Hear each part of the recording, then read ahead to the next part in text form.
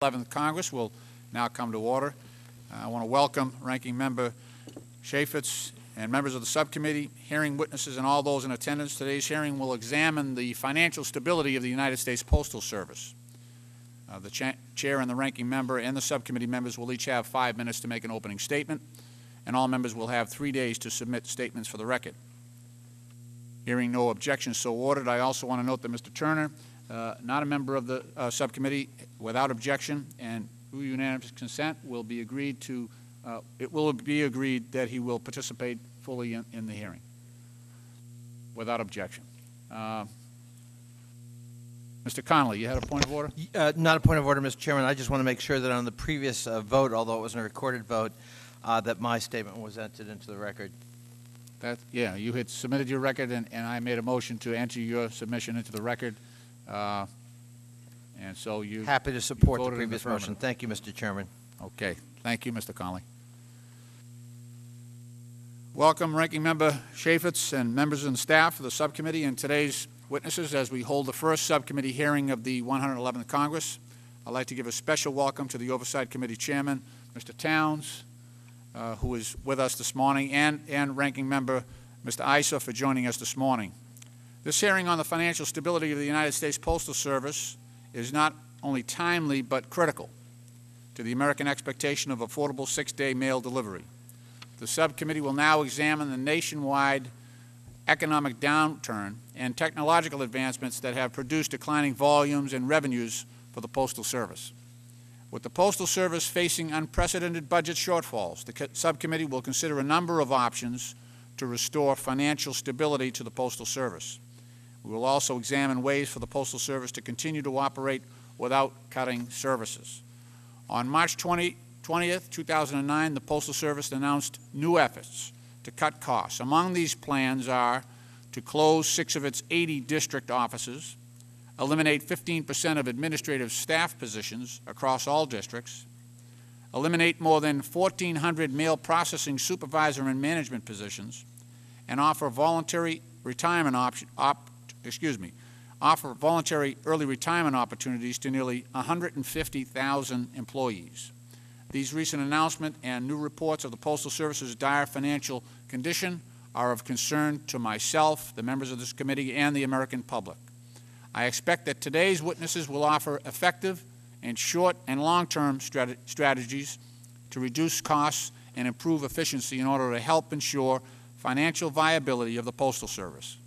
In addition, to better understand compensation at the Postal Service, I will question the Board of Governors on executives' compensation packages. Thank you, and I look forward to having a very informative hearing this morning, and I, at this point, I will yield to our ranking member, Mr. Chaffetz of Utah. Uh, Thank you, Mr. Chairman, and thank you for holding this hearing. It it is critical in this time. Uh, This is the first of our oversight hearings on the Postal Service and our first hearing overall. We are here to- today to review the lifeblood issues involving the United States Postal Service. The United States Postal Service touches everyone. There are there are hundreds of thousands of employees. The postal, in- the postal industry generates hundreds of billions of dollars as the postal system and personnel process literally hundreds of billions of letters and packages. We all need the postal system to thrive. The task at, at hand is enormous. In 2006, the Congress passed the Postal Accountability Enhancement Act, marked up in this committee as H.R. 22. There's now another H.R. 22 before us, which would change the way the Postal Service pre-funds retiree health care. The requirement of, that the United States Postal Service pre-fund the employer's portion of this of its future retirees' health benefits while paying premiums for current retirees is seen as an unnecessary cost burden.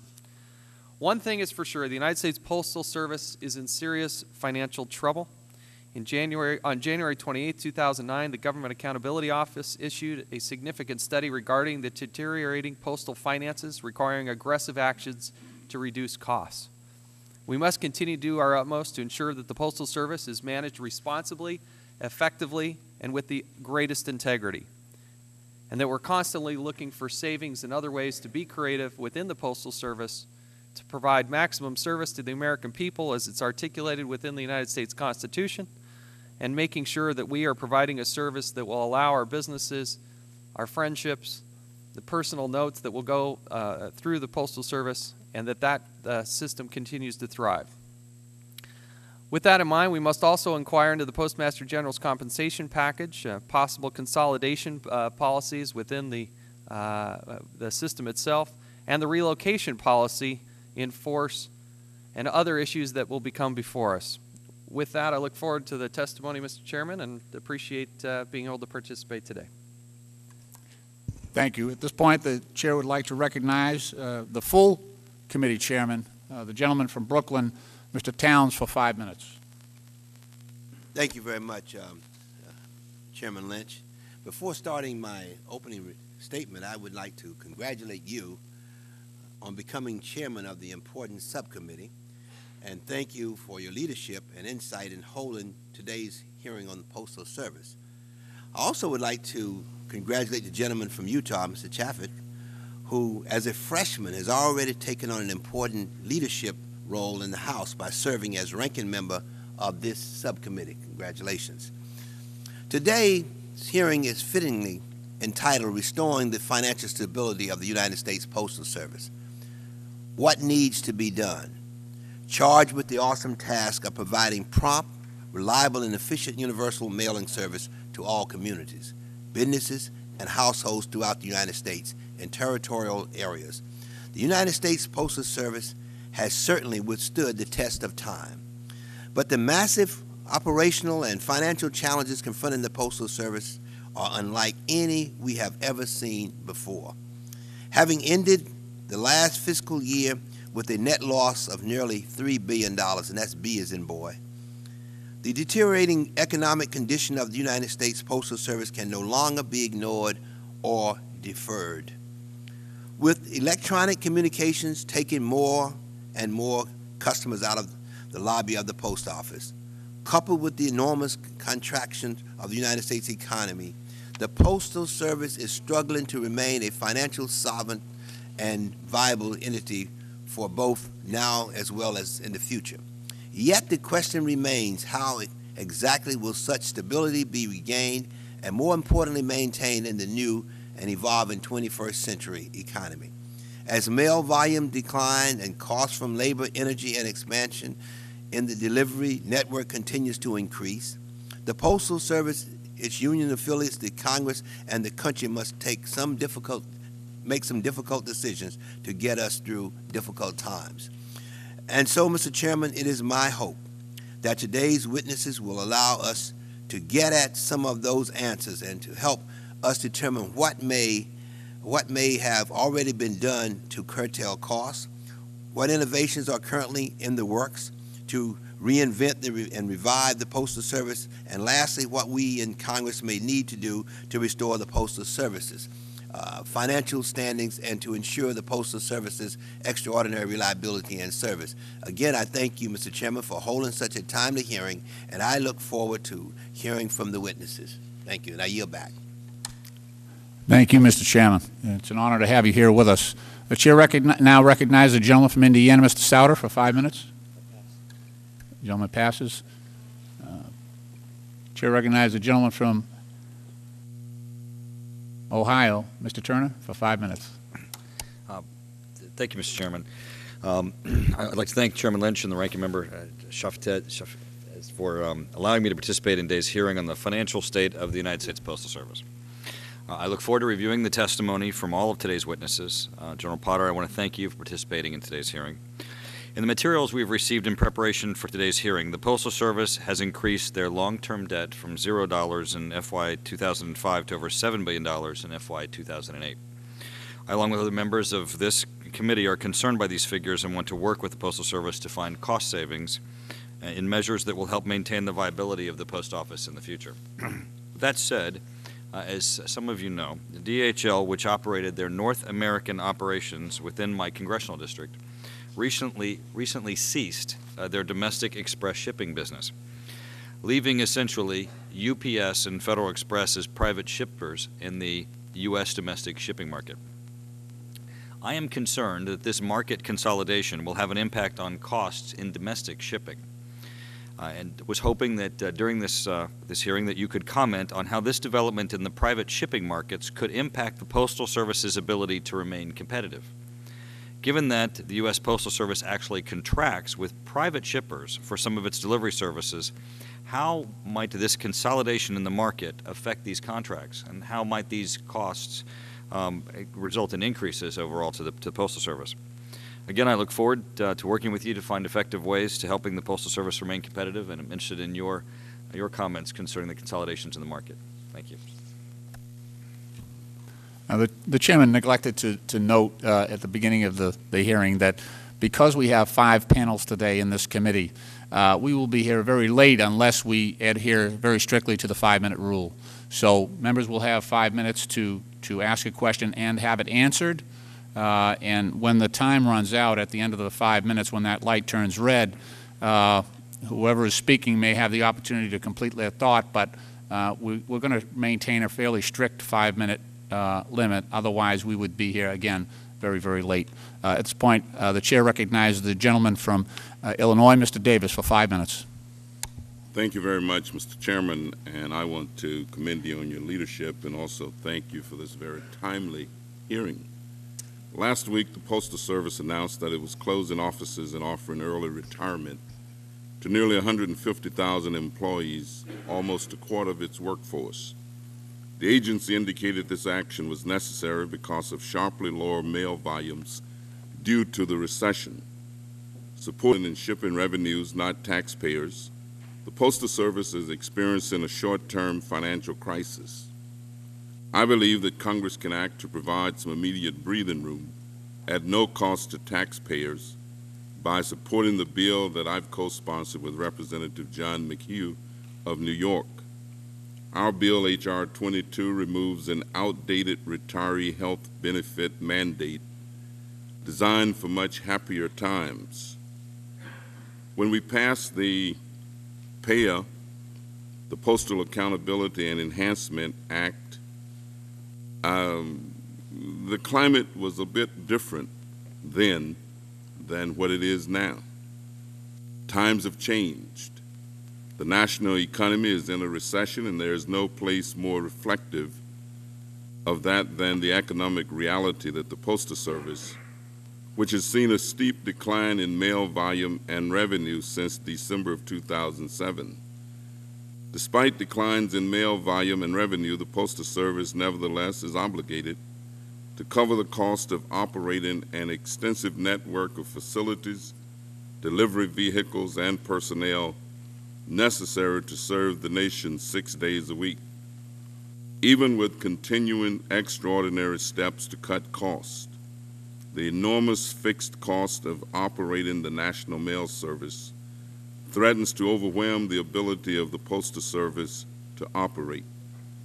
The aggressive approach to pre-funding future retiree health benefits that appeared doable two short years ago is now untenable in my estimation. I hope that this hearing will give us an opportunity to thoroughly explore the problems and difficulties being faced by what I consider to be one of our great national treasures, that is, the Postal Service.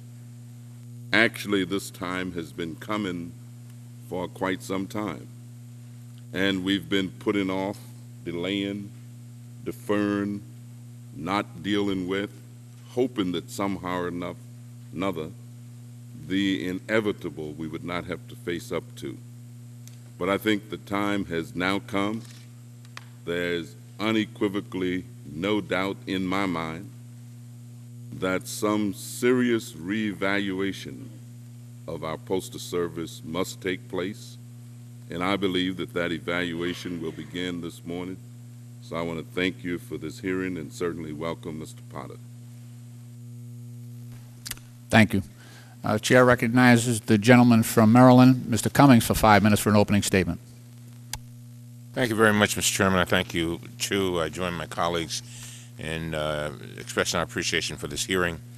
Uh, we hold this hearing today at a time when our national economy uh, is struggling, and the United States Postal Service is not immune to that trend.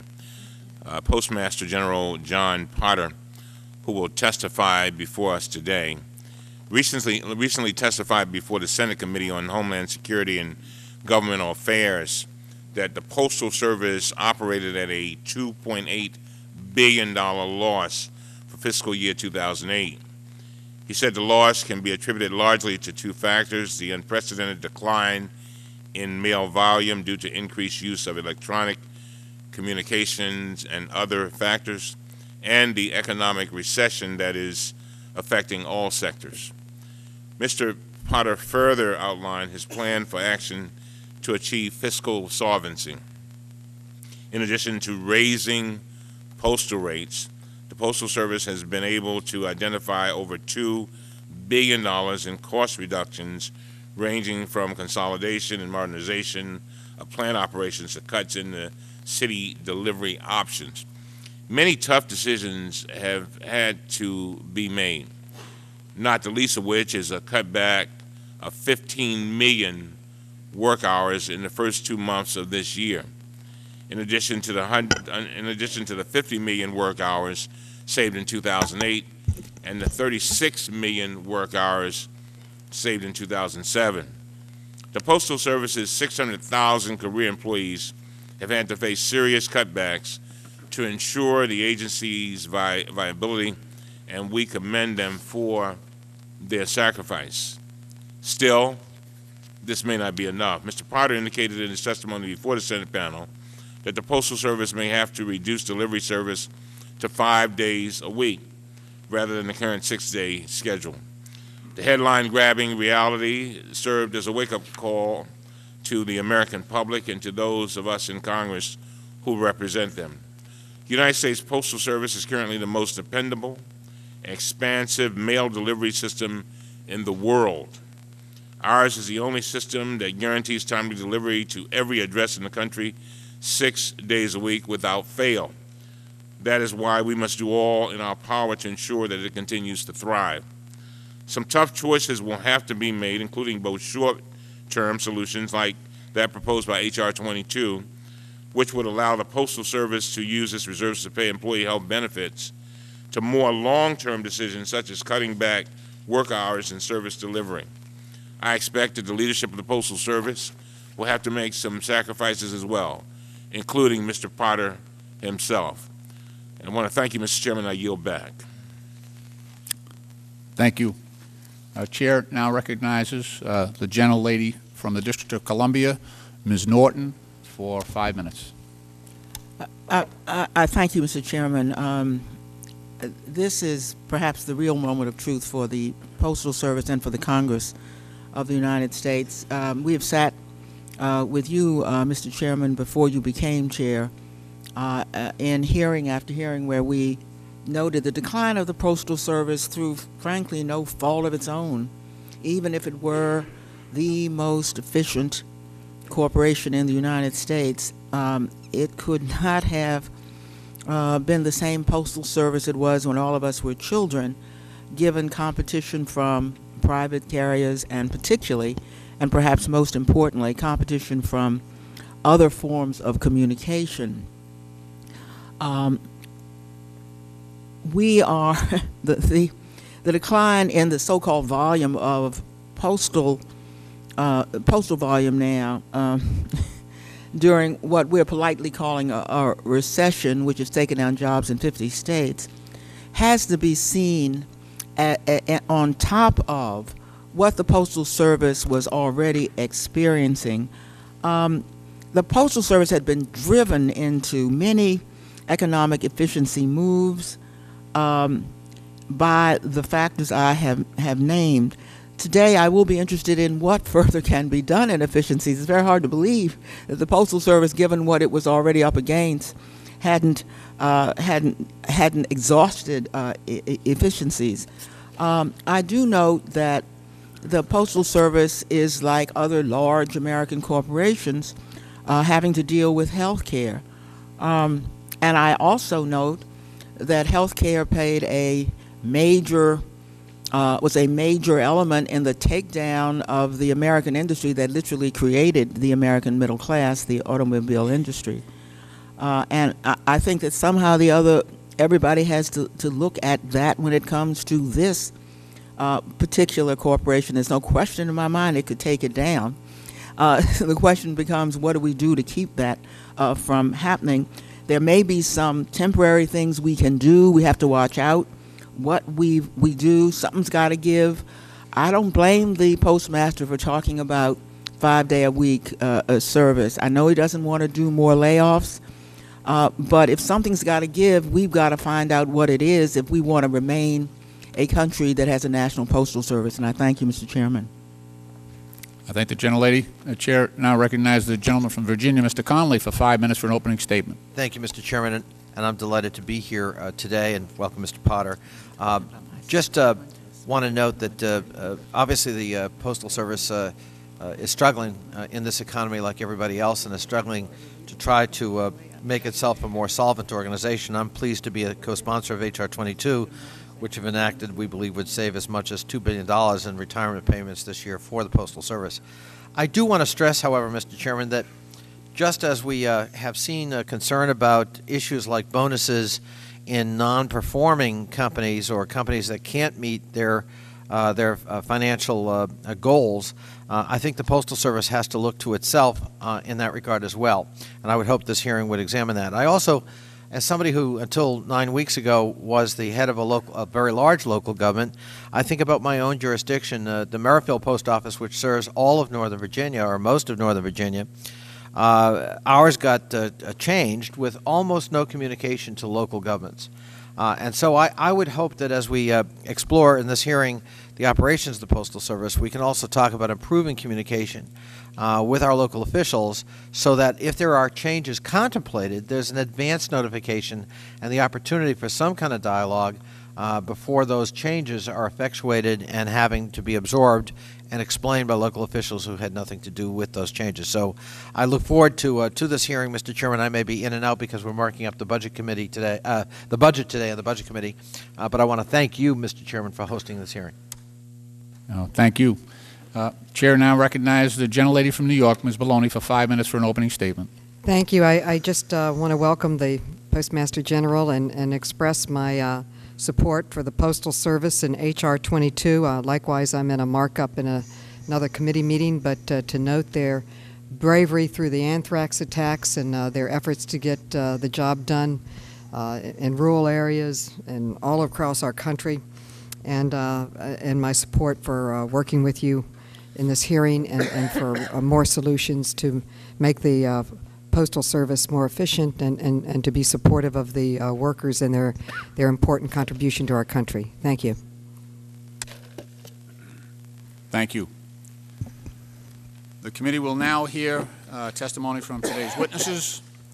It is the committee policy that all witness- all witnesses are sworn in. I invite uh, Mr. Potter to please ri- uh, rise and raise your right hand. Do you solemnly swear that the testimony you will give before this subcommittee will be the truth, the whole truth, and nothing but the truth? I do. Let the record show that the witness has responded in the affirmative.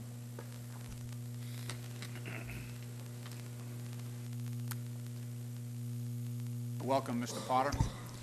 Uh, Mr. John E. Potter, Postmaster General and CEO of the United States Postal Service, uh, was named 72nd Postmaster General of the United States of America on June 1st, 2001.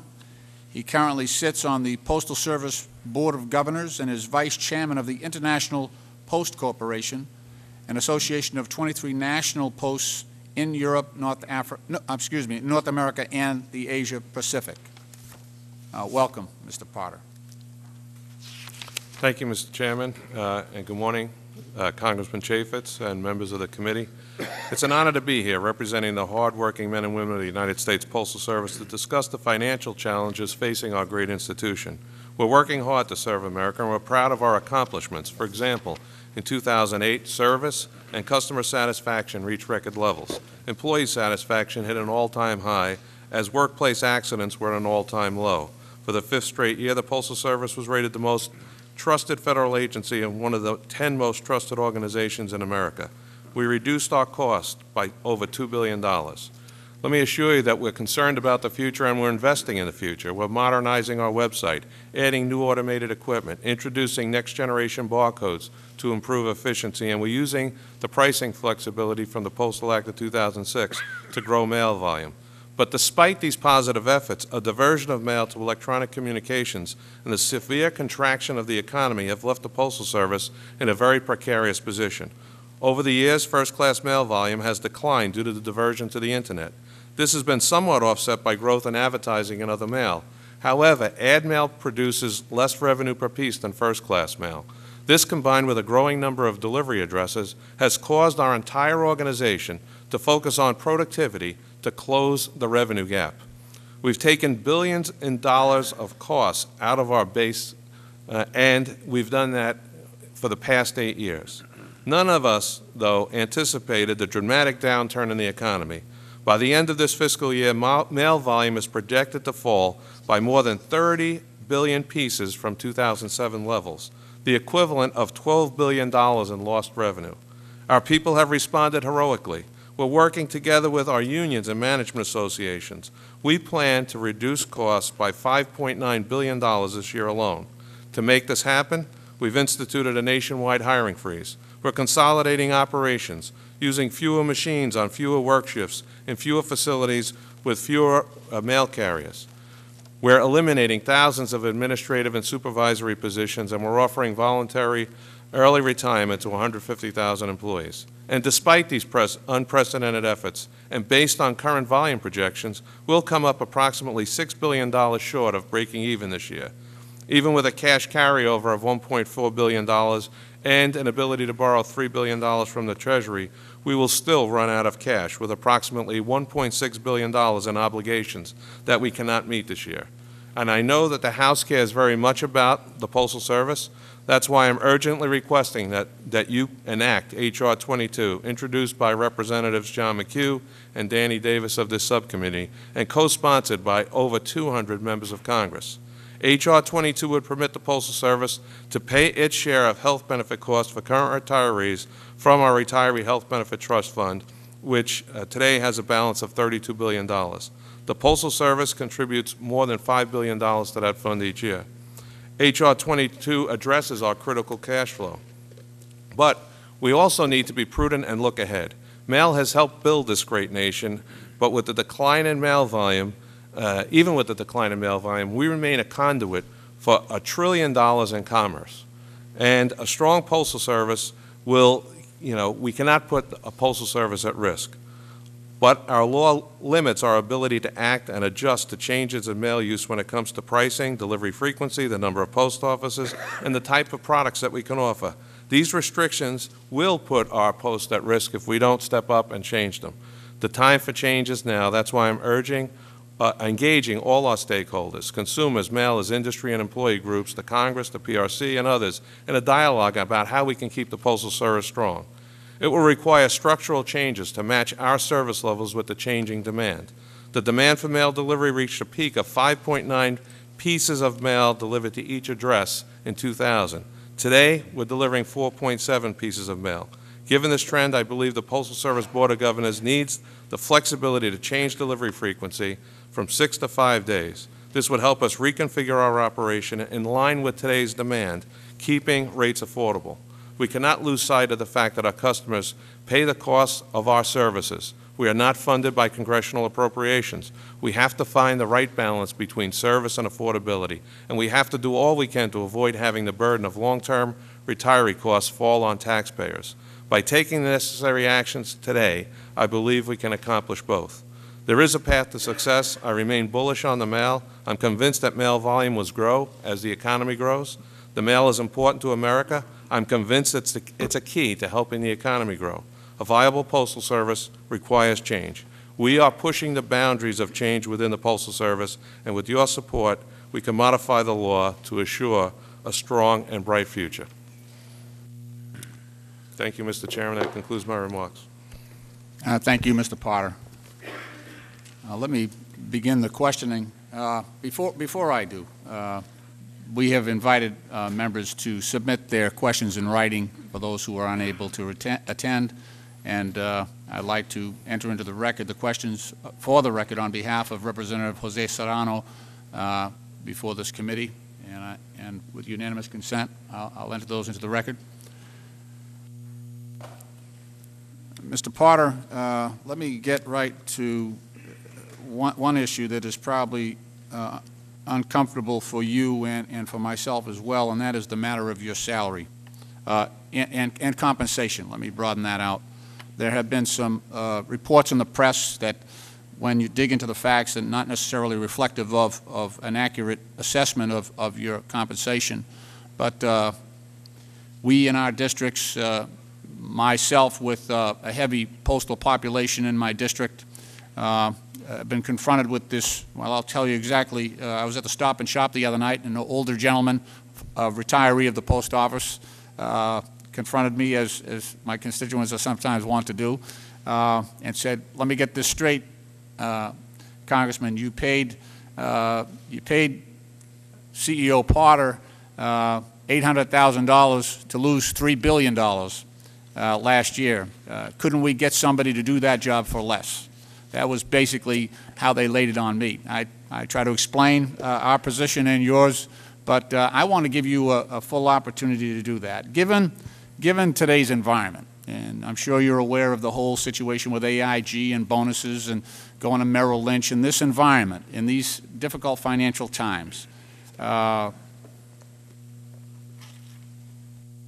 can we justify, can the Postal Service justify your compensation package, which I'd like you to clarify. I'm sure, I'm sure it's been exaggerated. I've already looked at the numbers here, but I want you, you to uh, basically tell us what your, what your compensation uh, package represents and, uh, and how it's broken down. I want you to inform the committee, at least your side of the story.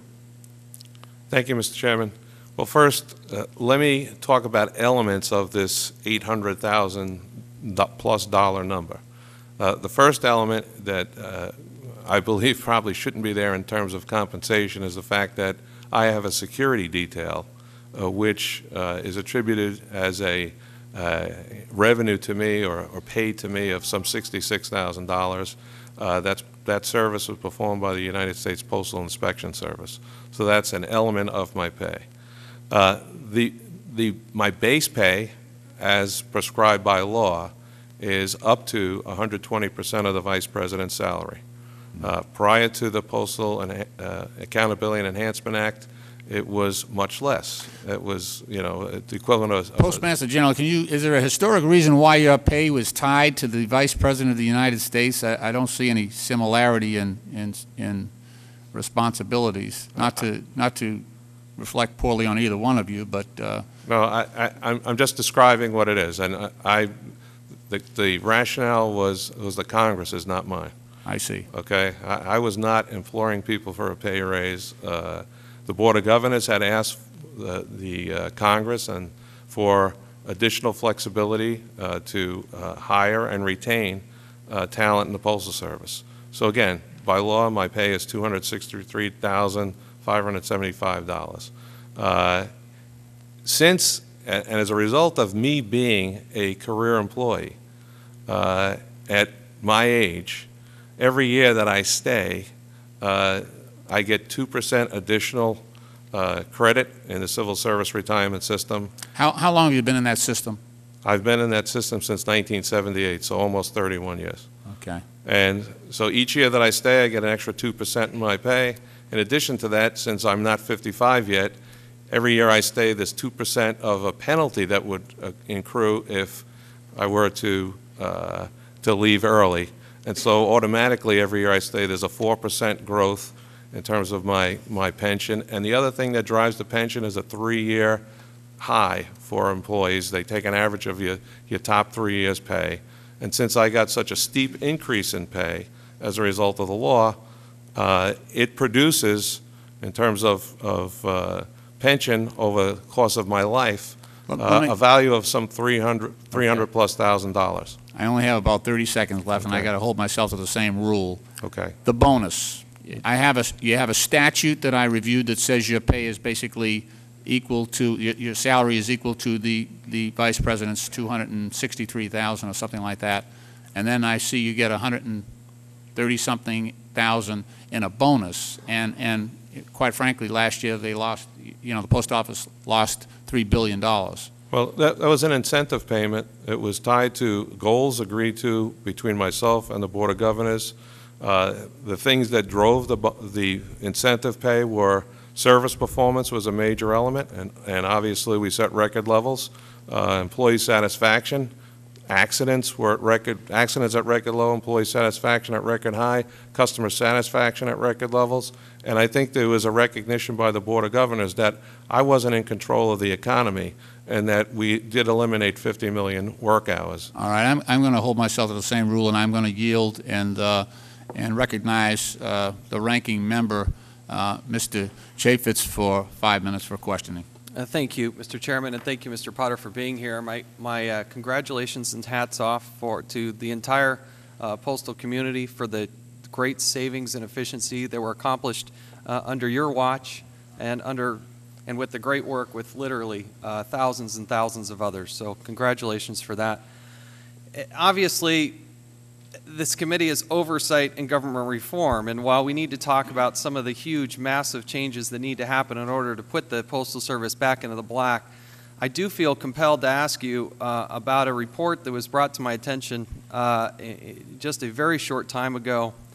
Uh, I need to ask you about this. Uh, on March 19th, 2009, there was a, uh, a report done by the Republican uh, committee here that said Friends of Angelo is the name of this report. Friends of Angelo, uh, countrywide sys- systemic and successful effort to buy influence and block reform. On page 38, uh, paragraph 3, it says fees were also waived for Postmaster General John Potter. Potter benefited from an encounter with Mozilo in 2003. Potter was in the process of arranging a quote complicated unquote bridge loan when he quote coincidentally end quote ran into Mozilo. Mozilo instructed Countrywide's Kay Gerfen to quote let Potter know that we slash CW, which I take it to be Countrywide, will take care of it end quote. Mozilo instructed Perry to quote take one point off end quote Potter's rate and to charge quote no extra fees end quote. Potter was referred to Mozilo and or the v- VIP program by former Fannie Mae chief executive Jim Johnson. In an email that was issued, uh, that was written in May 21st, 2003, um, sent by Kay Gerfen of Countrywide. Let me read that. It says, coincidentally, Angelo just ran into Mr. Jack Potter, uh, parentheses, Postmaster General, and, and parentheses. And Mr. Potter will be calling on Friday. Angelo wanted to make sure you were given a heads up to, quote, let Mr. Potter know we slash CW will take care of it, end quote. Also, per Angelo, quote, take one point off and no extra fees, deal a little complicated, bridge loan, dot, dot, dot, end quote. Please let Angelo know as soon as you hear from Mr. Potter. Thank you. In light of this, I, I need to ask if you, if you knew about this, did you accept the loan? And do you feel like you were given favor by Countrywide through this encounter? Well, first, I do have a loan from Countrywide.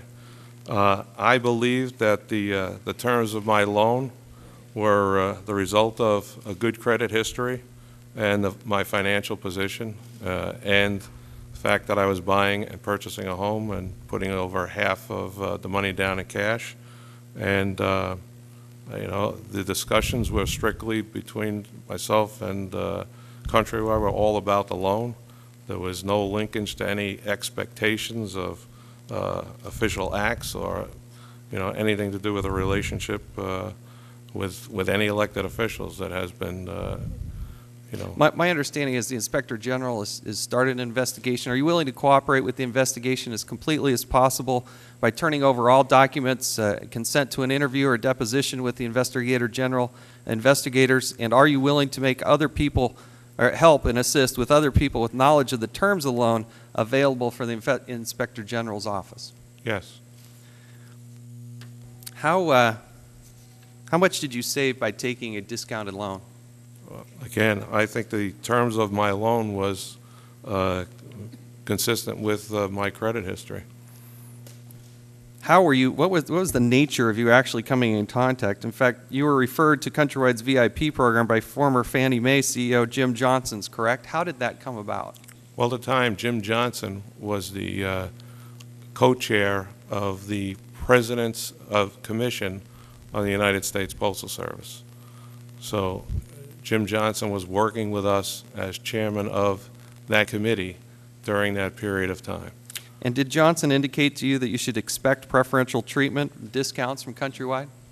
No, Johnson indicated to me that uh, because I had, he and I had a discussion, he had overheard me having a discussion with somebody, and he basically came up to me and said, "Oh, congratulations, you're buying a house."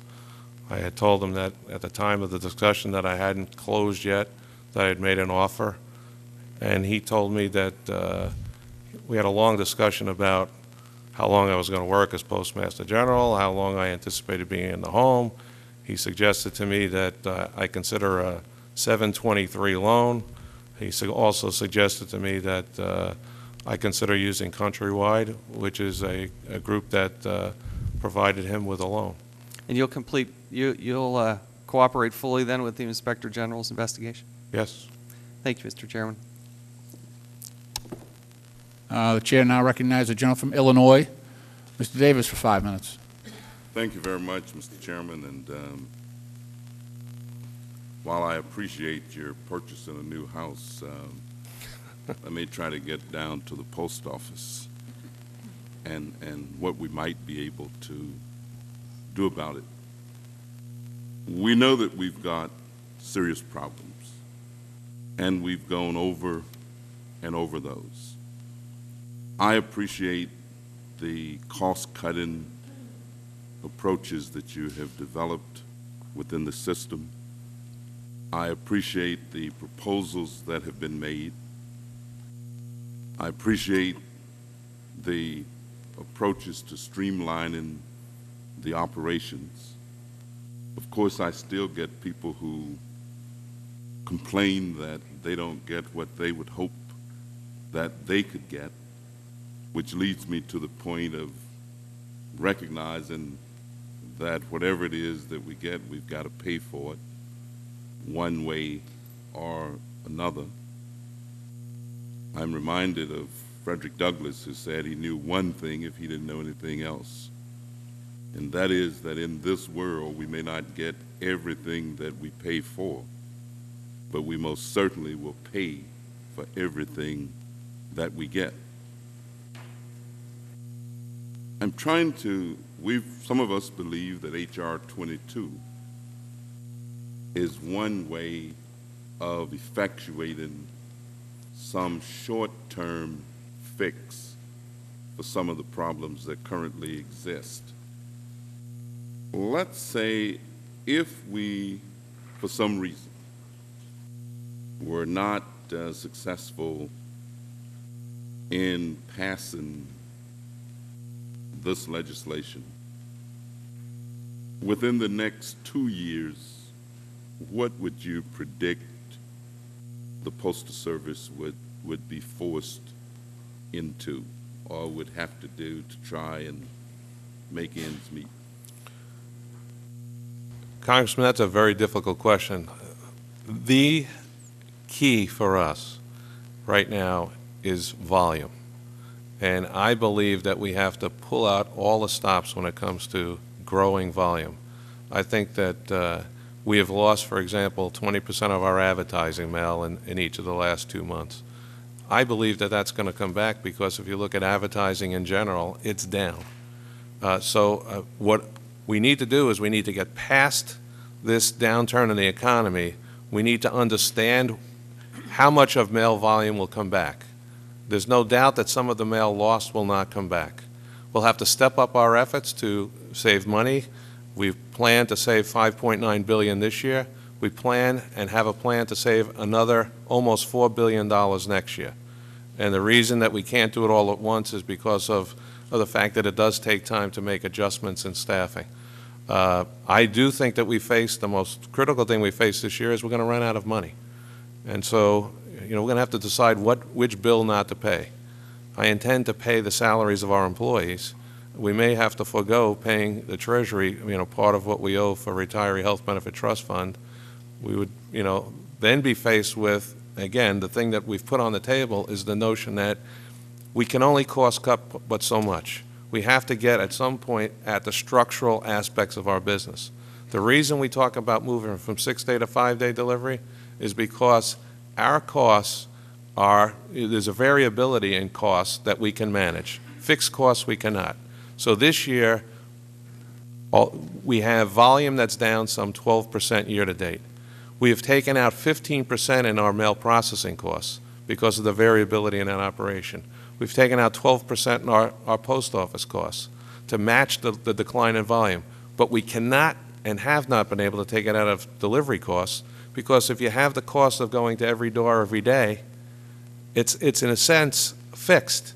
The only variable is how much time the carrier spends casing mail. And so that's the dilemma, and that's why we proposed and think we need to explore how do you take and make structural changes that will have minimal impact on the American public and the users of the mail, but at the same time enable us to lower our costs. Let me I- just say that I appreciate your optimism relative to the ability to grow volume. I just don't see how you're going to be able to do it. As a matter of fact, we are increasing the use of electronic communication as opposed to decreasing it. I wish you well. but Well, if I could, okay. I'm sorry, the gentleman's time has expired. The chair now recognizes the gentleman from Indiana, Mr. Souder, for five minutes. Thank you, Mr. Chairman. Uh, Let me first ask a, a quick question on the, the, uh, separate from the structural problems, isn't it, as far as the deficit that you're running in the relationship to income and so on, isn't it always been true in the post office that the money is made right after a postal rate increase and you show profits, and then towards the point where you're going to do a next postal rate increase, you tend to show losses? Isn't that the historic pattern? That was the historic pattern. It was addressed in the Postal Act of 2006, and it, what we went, the change that was made was we went to annual price increases, smaller annual price increases versus we were on a three-year cycle of very large increases.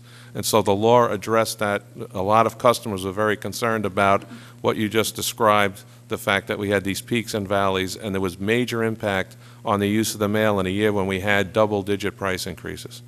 So you're saying that the loss that you currently have is predominantly uh, somewhat structural, but also very, the reason it's more severe because you couldn't annually adjust because business dropped so fast?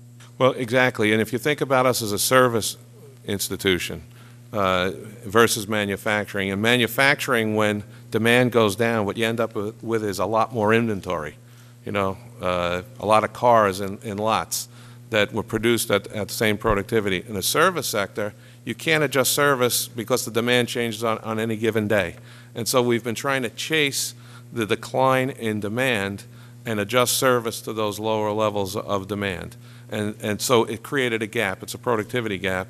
And we're constantly trying to bring that in line. Where we have not been able to do it, as I just said, is delivery. I just wanted to make sure that the record understands that the correlation between income and loss is not exactly the same as it is in the financial institutions or in others because of what you just described, which is somewhat of a change from the rate. But there are, there's a structural problem that Mr. Davis just referred to, and that is, is that the whole changing way people communicate and, and so on. And I have uh, two specific things I want to quickly uh, uh, run, run by you. One, probably the most, uh, other than uh, limiting a day of delivery, the, closing smaller post offices, it seems to me, I mean, which is also a jobs question, but a uh, window access, but also a prestige question coming from a small town myself. It seems to me in the age of computer technology, uh, as we look at the centers like in Fort Wayne, Indiana, where I'm from, that uh, have very automated, that we ought to be able to program to keep people's identity. Small towns are losing their schools, they're losing everything else, and this is just unbelievably political pressure, at least for the identity of smaller communities who get absorbed. And I just would like your comment on that. And the second question uh, is that uh, as we watch daily newspapers collapse uh, at an amazing rate right now, um, and as a former retailer myself, and if you pull Saturday delivery and we lose daily newspapers, uh, for example, R. Donnelley has a huge facility in my district. How do they get things to people in a timely fashion when weekends are the biggest sales period? That uh, it seems to me that as you structurally look at this, somehow uh, merging some delivery systems, communication systems. I mean, if that means do you have to deliver in the morning rather than later in the day? Do newspapers have to adjust from a Sunday to a Saturday? Uh, that habits are nice and patterns are nice, but the technology is changing so much. We could watch you getting hammered and, and restricted tremendously at the same time newspapers are going out. And how do we communicate and keep our uh, structure moving? Is how we move goods in the United States. Well, first, let me address the question of community identity. Uh, our systems, uh, you know, our zip code-based systems are strictly geography-based. It's usually a five-digit zip code, geography-based. Uh, but we have changed our systems to allow numerous uh, names for cities, towns, or geography within zip codes. So there is flexibility within our system to allow that. It's more rigid when it comes to zip codes because of we don't have an infinite amount of zip codes, and so we have to be careful when it comes to that. So, Seven digit won't, wouldn't allow you to expand that? well, we, we're, I mean, uh, there, there is the, there, there is the discussion, uh, the, The- the, the- it's we have, right now, we have nine-digit zip Nine, codes. that's what I was- And, and we could Five literally, we could literally, you know, carve pieces of that out, and as a result of that, we've enabled communities to, to use their community name as an alternate to uh, what might be the name of the formal town, and so we allow multiple names within a geographic area. Uh, But there are segments of the country where we are out of zip codes. Now, regarding uh, delivery, as I, I said earlier, we're reaching out to everybody, all the stakeholders. It's not a fact that we would eliminate Saturday, but we do need to have flexibility there. Sorry, Chairman. The gentleman's time has expired. Let's see. Gentleman, Chair recognizes the gentleman from Maryland, Mr. Cummings, for five minutes. Thank you very much, Mr. Chairman. Um, Mr. Potter, uh, we recognize that there were certain delivery routes, such as those in more rural areas. Uh, We realize those apparently had to be contracted out. We're concerned with the more widespread imp- implementation of that practice. Has the Postal Service expanded its contracting out of letter carriers, and if so, can you prove that it uh, has resulted in cost savings?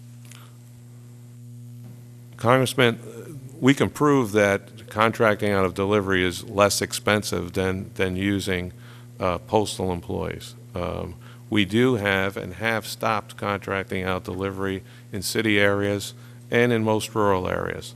Uh, The reason is not because it's less expensive, but because of this downturn in the economy and the lack of volume. Bottom line is, right now, we're in a position where we have too many folks.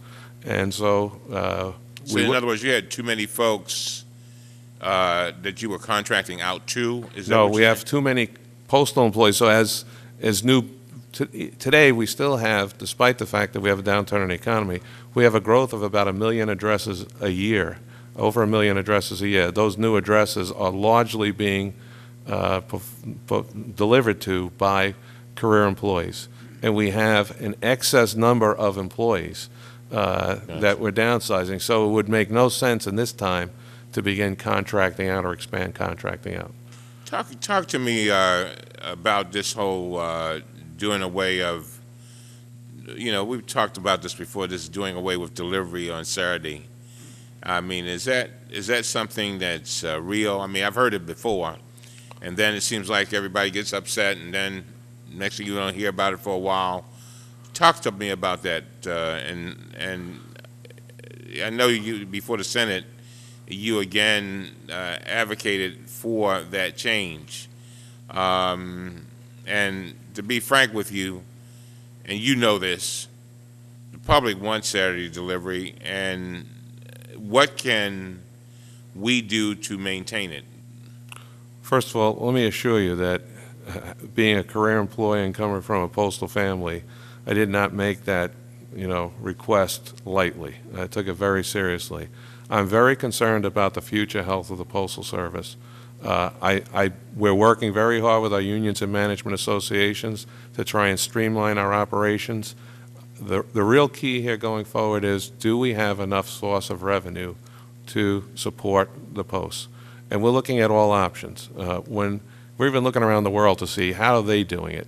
Some places posts are banks, and that's how posts are earning money to help pay for, uh, you know, the services that are provided in terms of, of hard copy delivery.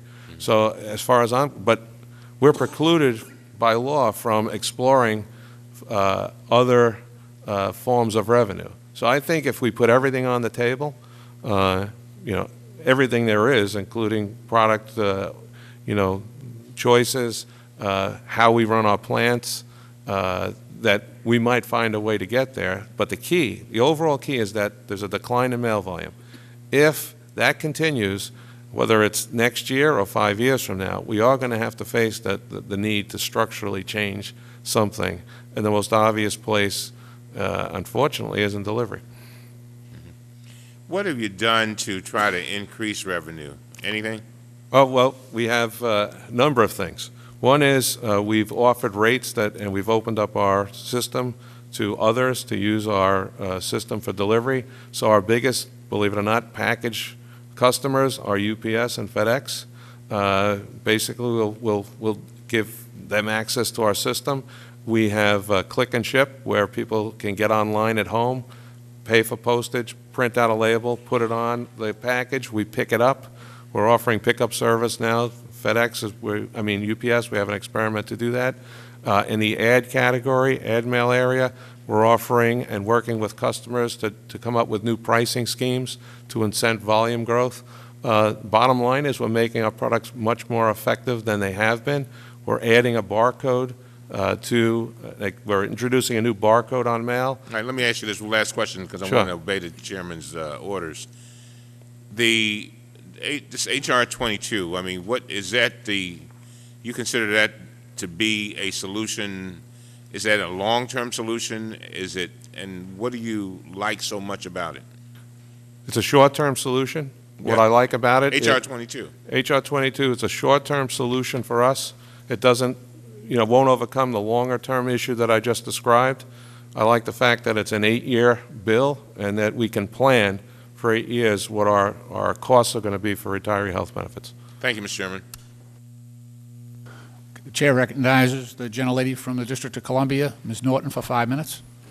Thank you, Mr. Chairman. Um, uh, Mr. Potter, um, the GAO, and I'm going to read to you what it said, uh, noted that you had made, uh, you and the Postal Service had made unprecedented cost covering, cost cuts over the years. But then it went on to say, given the growing gap between revenues and expenses, the USPS's business model and its ability to remain, to remain self-financing may be in jeopardy. I want to ask you now rather than later, because this creeping problem could creep the Postal Service out of existence. Do you believe that the Postal Service should totally rethink its business model? Have you given any thought to that in the form it would take? And do you believe the Postal Service can sustain itself as a self-financing entity uh, as the 1970 statute uh, made the service? Congresswoman, I believe that we can do that, that we can be a self-sustaining organization for a long time to come. On the present business model? Not on the present business model. I believe that we are going to have to make changes, uh, whether that's the frequency of delivery, whether that's the type of products that we, we can offer. Uh, I think that everything has to be on the table, including uh, the mix of our workforce. Uh, it, we are not in a position today, looking forward, where we can sit still. The sooner we act, the better off we'll be, and the more viable we will be. The one thing that, the biggest trap I think we have is that we don't act quickly enough, and we create a, a- a Well, the- financial if- burden. If I may, if I may ask, Mr. Potter, that's my problem about quick, quickly enough. So you've suggested we may have to go from six days to five days. This sounds like an incremental approach rather than a business model approach. If one looked at the entire business model, it might, it might be that you came out not with, for example, going from six to five days. Who knows? But if everything's on the table, my question is, is it on the table? Who is doing the rethinking of the business model? When can this subcommittee expect to get some evidence of thinking on a new business model? Uh, Well, I, I, if, if that's an invitation, we'll, we'll gladly fill If it. not you, if not you, uh, you surely wouldn't want people who are not ensconced in the business of the postal service like ourselves to be the first to come forward and take a hack at it. And I, I- I use I the word hack very uh, advisedly. Uh, because the moment anything gets cut, every member of Congress, including those who most don't want uh, to spend money on anything, will say, uh, "You sure can't do that in my community." But I looked at your press conference. I, I, I asked you about six to five days because, again, that seems to me to be more of the same. And thinking it through in that way seems to me uh, dismembers parts of the body piece by piece rather than looking at the bo- body and its core and seeing what can be left standing. Uh, in your in, in your in your uh, press release of March 20th, you talk about uh, aggressive steps to cut costs. Uh, you talked about offering another round of early retirement, and then you, you spoke about positions um, that you expect to save uh, uh, funds from. Now, staff positions at the district level nationwide, 1,400 pro- processing supervisor and management positions. Are these positions, are these layoffs, uh, will layoffs occur? Have they occurred? There will be a reduction in force according to uh, OPM So there will be rules. layoffs. There will, at, at the end, there could be, but we, we hope to be able to offer everyone a job. And let me ask you about early retirement. Have, have postal um, employees been um, quick to take early retirement when they see the condition of the postal service? We've had, uh, I believe, some 9,000 people take advantage of the early How many were offered or expected to take early retirement? Uh, That was a little bit above what ex- what was expected. Uh, It was well over 100,000 people who were offered. Uh, It it does, it- it it does seem to me the, the, ret- if if one is talking about big reductions that could come, given the business model, uh, let me just ask you, is there another round of early retirement that might be offered? If so, what kind of cost does that entail relative to keeping these people uh, on board? We've just opened up uh, voluntary early retirement to uh, all postal employees through the end of this year. And so when people are being told that their positions are eliminated, they have an opportunity to either seek a different position and/or they have the option of retiring if they're eligible. I think that's a very important thing you're doing th- that way. I do, do think people know how to take care of themselves, and they can see the business model just like we can, and they know that you've been trying. If it's not done one way, uh, it may do another way that really hurts the postal service. Got to keep as many people employed as as as as we must have in order to deliver uh, the mail. Thank you, Mr. Chairman. Thank you. Uh, Chair now recognizes the gentleman from Missouri, Mr. Clay, for five minutes. Thank you, Mr. Chairman, and thank you for conducting uh, this hearing. Uh, Mr. Potter, thank you for being here today. You know, I, I understand that you're looking at a, a huge deficit uh, within the Postal Service in the coming years, and I, I understand the proposal to reduce uh, service from six days to five. Um, what would be the savings to go from six days to five days? How much would that save $3.5 billion annually? annually, Annually, annually. is that right? Okay. Um, how is, um, how have your, um, you, in, in, in industries like the auto industry, um, labor and management have found uh, a newfound friendship or relationship. How is that relationship uh, with management and labor in the postal service? Is it uh, does everybody uh, has everyone come to the table and said, okay, we know we're going to have to do some belt tightening? Is that pretty uh, healthy relationship? Well, we've, I've always had a healthy relationship with our unions and management associations, and we've been meeting on a regular basis now that we face this crisis. And everything is being discussed, it's on the table. Uh, we've made a number of changes. Uh, uh, Probably the uh, most prominent example is in delivery. We uh, work with the NALC to expedite uh, changes in routes with the rural carriers. We have a count that's going on right now. Um, We have talked at our last meeting, which was uh, uh, well, it was last Friday, we had a discussion, and we're talking about uh, working enabling people to move from job to job more easily because we have some pockets of need and some places where we're overstaffed. So we're working through to try and uh, get at both efficiency as well as making sure we're accommodating employees. And so, um, the labor community understands what the uh, Postal Service is confronted with, and they Without want a to work doubt. with you. Without a doubt. Wonderful. Are there any advances in uh, technology on the horizon for the uh, Postal Service to help reduce costs, and are there any new ideas to grow the business? We're deploying, as we speak, the, the next generation of flat sorting equipment, which will enable us to put mail into walk sequence, flat mail, catalogs, magazines, and oversized envelopes into walk sequence for delivery. That'll make that operation much more efficient. Um, we are also introducing a next generation of barcode, which will enable us to actually count mail as it's sorted as opposed to accepting it. And again, it'll, it'll eliminate some steps and uh, make the mail more uh, efficient for us to handle, and it'll be more transparent to customers, so they'll have a window into how we're processing the mail. So there are a lot of innovations in terms of, you know, that are on the table that are being implemented to uh, get the Postal Service into the 21st century. Let me, let me hear what you, what your, if, if you could, uh, or your wish list for a long-term fix to the retiree health benefit, what would that be, or are What- you will to give that?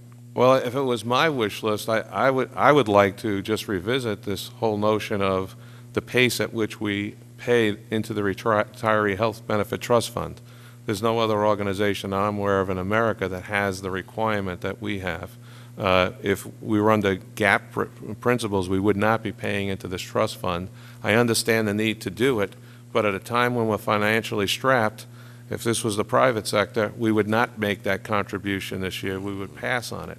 Uh, The payments that we're making into that fund are not tied into an actuarial kind of analysis. It was really a, a uh, a holdover from payments that we were making into the Civil Service Retirement Fund. So I would much prefer, I'd love HR 22, and I want it to pass, but if you had to step back, I think we, we should rethink the way we're paying into this, and it would be more of a benefit for the Postal Service in the short run if we did. And your, your, your costs are higher than other federal employees, about ten percent higher. No, they're, they're about the same, but we're the only ones that have that pre-funding mechanism. Now, just as a, uh, a, a informal survey that I conducted um, among postal service employees, uh, they indicate to me that they would prefer to have uh, um, the the day that you eliminate for service would be Saturday and not Monday. Just to share that. I with like my weekends off, too. All right. Thank you, Mr. Chairman. I thank the gentleman. Uh, Mr. Parr, because of the interest in, in all of the issues here, we're going to ask you to stay for one more round of questioning. Uh, And let me begin that by, by asking you, uh, you know, we're hearing your plan, uh, which is, you know, we're going to slash service possibly from six to five days at a, at a significant burden to the, the customer. We're going to close post offices. We've already closed six uh, administrative facilities. We're going to get rid of 150,000 employees. And then after all that, you're projecting we're going to lose $6 billion. If that, if that is the future here, if that is the future next year, do you think you deserve a bonus for, for, for that performance? My, my incentive is, is based on performance parameters that are agreed to with the Board of Governors at the beginning of a year. Based on where I stand year-to-date, in terms of our financial position, I would not get a, a, a performance bonus this year or incentive uh, payment this year. Okay. And I'm working very hard because I would just like to mention that uh, all of our administrative employees, our managers, our supervisors, are tied into a national performance assessment program. Uh, Their pay, whether they get a raise or whether they get any kind of a, an incentive pay in any year, is tied to the bottom line of the Postal Service. So, I mean, I I don't want to be cavalier about this. It's extremely important that we work hard to, to uh, do well so that not just, not that I can earn a performance uh, incentive, but that those folks on the front line actually get a pay increase. I And I understand think that. that's a great motivating tool for our institution. Just wanted to be clear on that.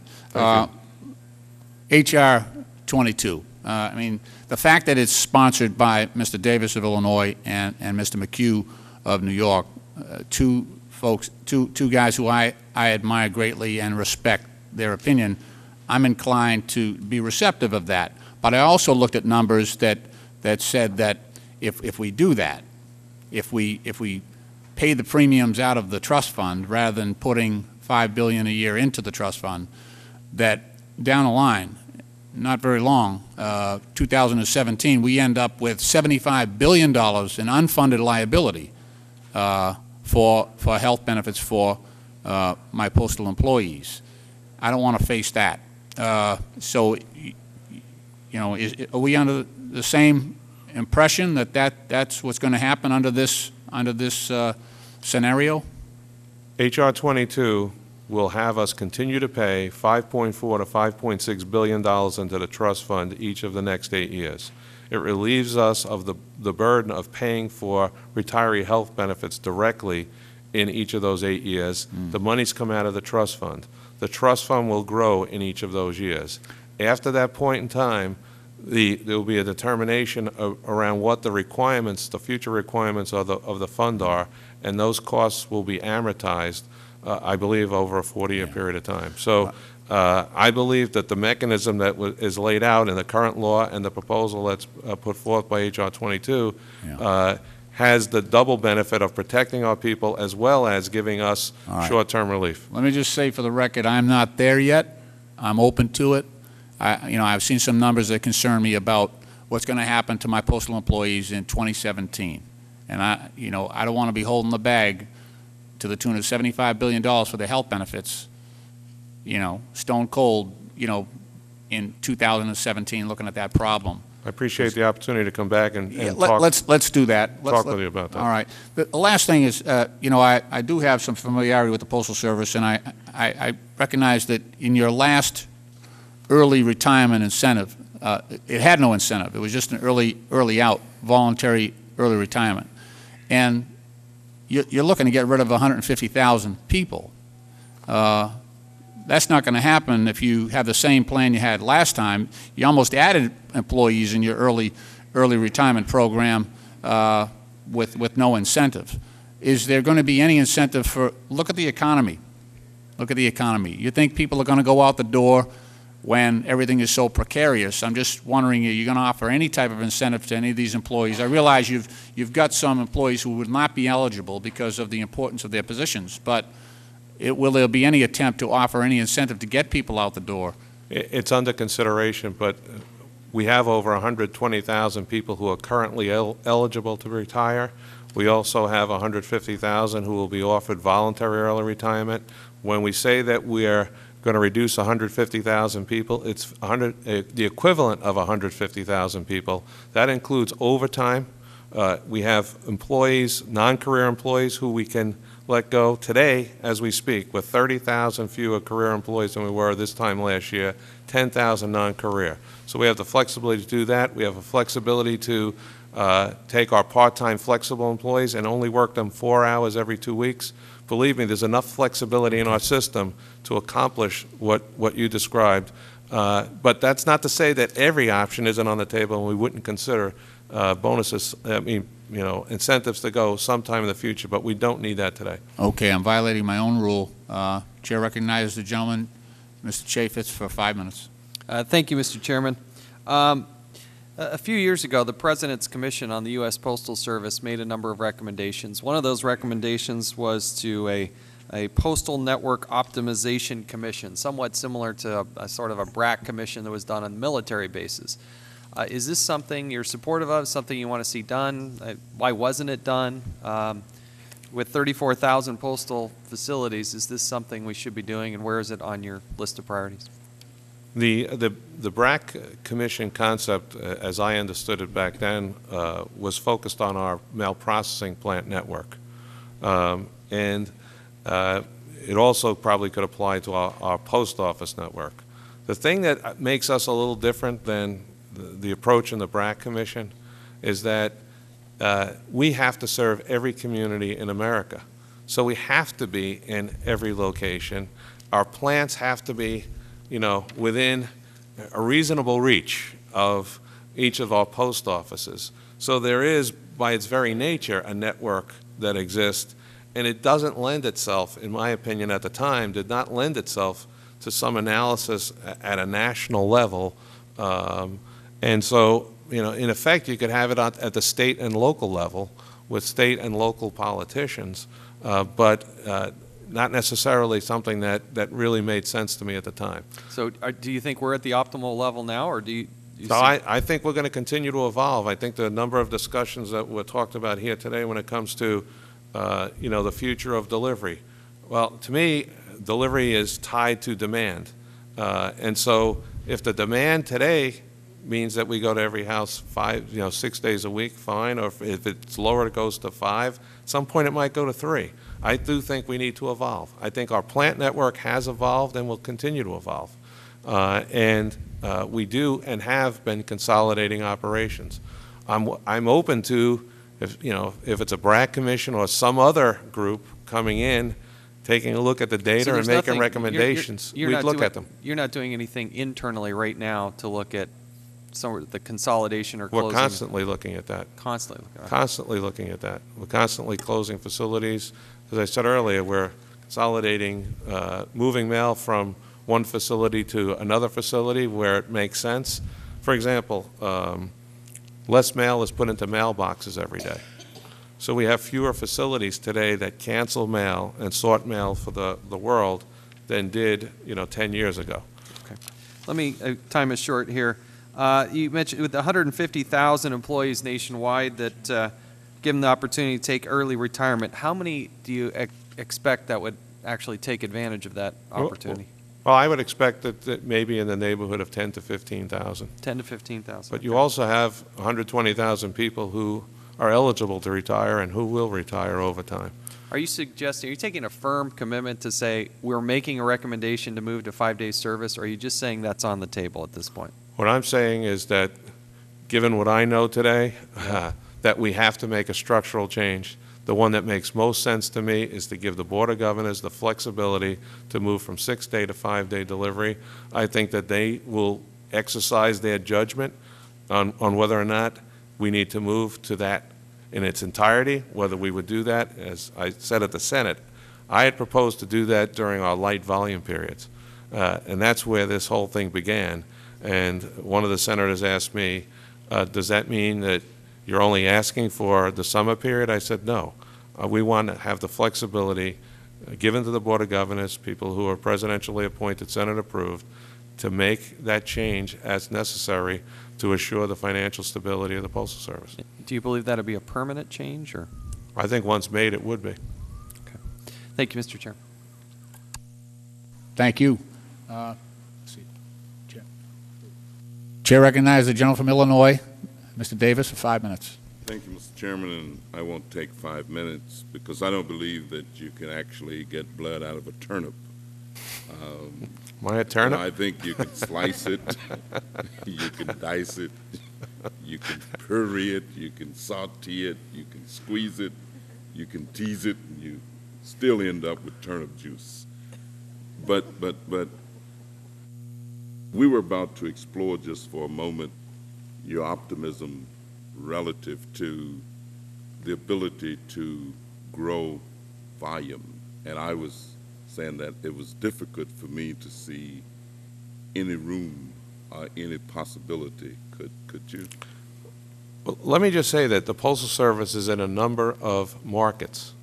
So one of, one of the products that we have is an advertising product. When I say grow, I'm talking about growing from where we are today. Uh, If 20% of advertising mail went away, which it has, and by the way, it's reflective of what's going on in the marketplace for advertising. Uh, If people now want to make investments in advertising, I think that mail is going to be a channel that they're going to consider. Prior to this downturn in the economy, our market share of advertising dollars, total advertising dollars that were spent on mail had been growing. There's, why? Because people were looking to have the ability to target different customers, and they wanted measurability, and mail is very measurable. And so my belief is that as the economy comes back, advertising mail will grow again. Will it get back to the levels it was before the economy went down? I hope so. But I know it's going to grow beyond where it is today. Likewise, packages. Our package business is down. When I do a comparison of where we are versus the competition and look at what's the impact of the downturn in the economy on their revenues, we're very comparable. I don't think there's anyone in this room who doesn't think that as the economy comes back, our competition's packages and their volume won't grow. So I have faith that our market share will be maintained as volume grows. The one area that, Congressman, where we have a real problem is first-class mail. It's transactional in nature, it's bill presentment, bill payment. Once someone goes online and begins to pay bills online, they're not going to come back to the Postal Service because, you know, of the very nature of, of, you know, once you have that habit, you're not going to do it. So when I talk about growth, that's what I'm talking about. I'm talking about those categories of mail where we have a natural strength in the marketplace. And I believe that we will, we will bounce back in those areas. Even first-class mail, we were declining in first-class mail about 3 to 5 percent per year in terms of volume. Well, we're down over 10 percent. And I believe that the difference between 3 and 5 and 10 is largely driven by the economy. When the economy comes back, we may see an uptick in first-class mail. And so that, that's what I'm talking about growth. Uh, and I'm talking about competing in certain sectors and growing our market share. Well, let me thank you very much because I, like Chairman Lynch, don't want to be left holding the bag in 2017, even if it's a mail bag. So I hope that we are indeed able to make these ideas work, and I thank you very much, Mr. Potter, for your testimony. I thank the gentleman. The chairman recognizes the gentleman from Maryland, Mr. Cummings, for five minutes. You know, I'm, I'm sitting here, and I'm thinking, I'm just listening to you, and I'm trying to make sure I'm making heads or tails of this. Let, us go to your salary. I'm not going to beat you up on your salary. You don't have to worry about that. But the 66, you telling me that $66,000 of your, what they say is your, is your Compensation. compensation, you don't pay tax, it's security. Is Yeah. that right? Yes. Where are they securing you from? I mean, they, I mean, I mean, are you, they worry about you? Who, is that mandated? Well, I can tell you when it started. I can tell you when it started. It, sta- it started when we were, uh, uh, after uh, we came under attack from anthrax. Uh-huh, okay. And I was somewhere, and my chief inspector got a call from someone, uh, and I think it might have been the Secret Gotcha, Service. but you don't, you don't, you, certainly you don't pay taxes on that. No, Okay. no. But, And- but it's considered for some reason compensation, uh, you know. And, and give me the other one, the other pieces of it, of the compensation? The, well, the other piece is the salary, and then the other piece is I'm a 31-year postal employee, And, okay, you went and my three-year high is going up because I got a salary increase. And So- that's, that's, that's almost half of the money they're talking about, because they're projecting, you know, my age, I'll live to 80-something, and here's how much money you'll get over those years. Okay. Let me, let me go back to this. The, you know, when we look at uh, all the methods of communicating today uh, over the internet and what have you, um, clearly, and, and you've testified to this, that that's cut some of your, a substantial amount of your business. Are we using, Mr. Potter, um, are we taking full advantage of our advances in technology and uh, with, with, within the postal system? Are there things that we could do to cut our costs further? And that's number one. And number two, when we look at the the whole idea of this Saturday service, and I, I can tell you, um, I would bet everything I've got that that's not going to happen. Um, just cutting the Saturday service, so you you might want to take that off the table. Um, but let me let me ask you this: Have we figured out which part of that is? I mean, how do you how do you figure figure out your savings? In other words, is most of your savings from people actually going our delivery people delivering the mail, and and I'm I'm thinking if the volume is still the same, I'm trying to figure out, you know, while they may be delivering Monday through Friday, if the volume is still the same, I'm just there's certain manpower that goes into preparing the mail to be delivered, and I'm just trying to figure out how do you make that divide and and what percentage.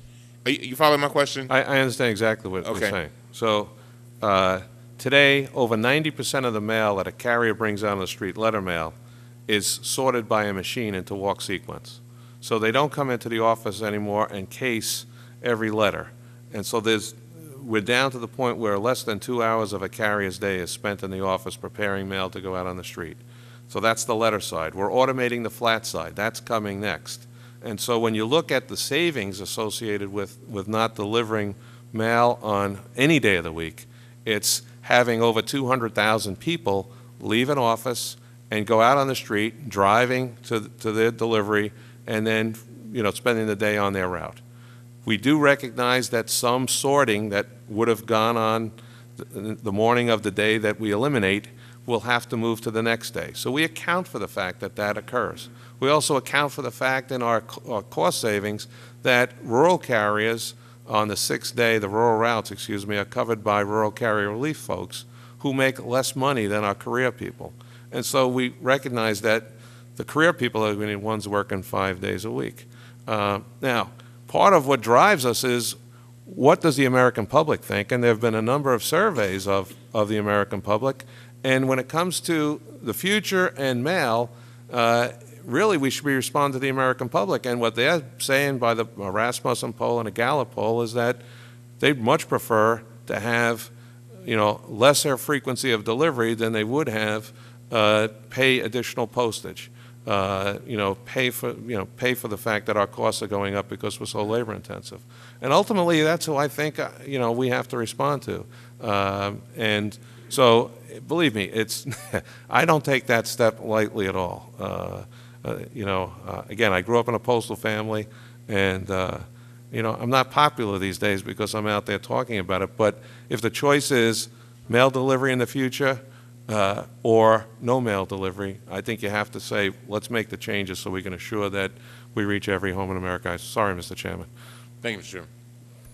Gentleman's time has expired. The chair now recognizes the gentlelady from District of Columbia, Miss Miss Eleanor Holmes Norton. Uh, Mr. Potter, I am particularly interested in the healthcare costs, and, and I note uh, again that um, you've proposed that that over an eight-year period, uh, the statutory mandate that we imposed a few years back to pre-fund uh, annuit annuitants healthcare uh, should be relieved. Now, the GAO says that it would prefer two years but that either option, neither option, may do much for uh, the postal service. Um, in what way do you think this would fix the problem, the overall problem of the postal service? And if not pre-funded, how would you make up for uh, the, the, the, fu- the funding of the annuance? Well, well, let me clarify again. Right now, this year, we're required to pay $7.4 billion into, for retiree health benefits. That's well over 10% of the revenues that we take in. Uh, And so the relief that we're seeking is the $2 billion. We'll continue to pay, according to, uh, as proposed by HR 22, we'll continue to pay into the trust fund, 5.4 to 5.6 billion dollars a year for eight years. That's more money going into the trust fund than would come out to pay for the $2 billion So you don't, you don't think it would have any effect then? No, I, I think the, the effect would be that the, the obligation for the Postal Service in future years beyond 2016 will be greater for, to contribute to retiree health benefits than it is today. But I would say that we are paying too much today, that we're not paying a fair share, that we're paying much too much. Uh, And so I think this, what's Well, offered uh, is. The GAO says two years so that we can rethink this notion. This goes back to my business model question. Uh, Do you think that we all need to sit down and think the entire model before jumping to uh, one big uh, uh, cut like that? One big change, I'm sorry, like that? Well, uh, personally, I believe that, that HR 22 uh, has the- the short-term benefit of, of getting us through the year and enabling us to pay our bills. and it helps us in, in subsequent years to do that. I do think that you're on a parallel path, though, that we need that as well as the, the discussion that you just described about, you know, we need to look at all our options, we need to come up with a, a plan, and we need to execute it.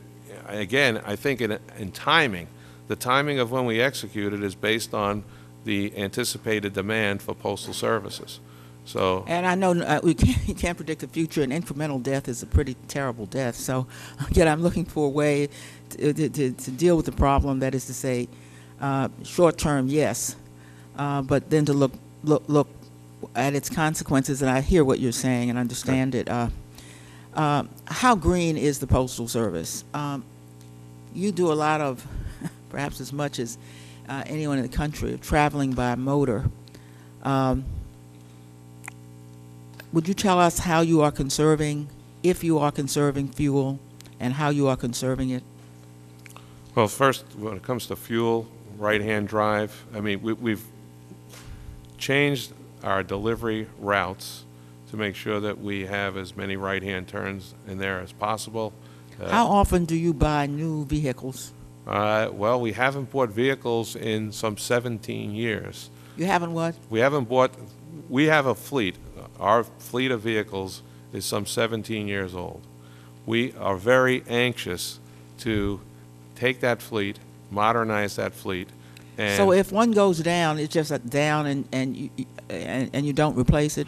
No, we have aluminum body vehicles. We have added some vans to that fleet as, as deliveries have grown. But we bought a What special fuel, vehicle. what fuel are those that, that? Right now, they're gasoline. Why? Uh, Well, because of, of the fact that, uh, well, there's a number of reasons, but one of the reasons is that uh, up until last year, we were limited in terms of alternate fuel vehicles that we could consider, could consider. Hybrids and the like, we were not given credit for in, in the, uh, uh, you know, from the federal government. We have, that law has now since been changed, so I thank We're you all not for giving doing credit that. for, uh, uh, what do you mean by not giving credit for? Uh, Well, there were, we were required to have a certain percentage of our fleet be alternate fuel vehicles. The definition of what an alternate fuel vehicle was very narrow. We worked with the Department of Energy and with the- the folks up here on the Hill and Congressman Davis and others to get that definition expanded so that we could consider other types of, of vehicles. Right now, we are testing, as we speak, hydrogen fuel vehicles, gas-powered fuel vehicle, you know, uh, uh, pro, uh, natural gas vehicles. We're testing a number of different alternatives. Mr. Chairman, could I ask you if, if you would allow this witness to submit to you an inventory of the complement of vehicles they have now based on precisely what form of fuel uh, they use, so we can get a sense of that? I'd also be proud to uh, submit with that, uh, Congresswoman, all of our activities in terms of going green, because we have a very good racket, and I'd, I'd like to do it justice by submitting that as well. Thank you very much. I think Thank we you, could, I think we could work that out. I know that uh, you did present a, a vehicle uh, count inventory, but I don't think it was broken down as, as uh, Ms. Norton would like, so perhaps you could just look through that and get the information to the committee We'll uh, as soon that. as possible. Okay, Mr. Potter, I have no further questions. I want to thank you for your attendance here, and I wish you a good day. Thank you. Uh, As you probably heard, we have some votes currently on the floor. I understand there are at least three in this series, which probably means we will not be back for about, at a minimum, a half hour, probably a little bit longer. So uh, everybody's welcome to stretch your legs, and we'll be back, like I say, in about 30 to 40 minutes.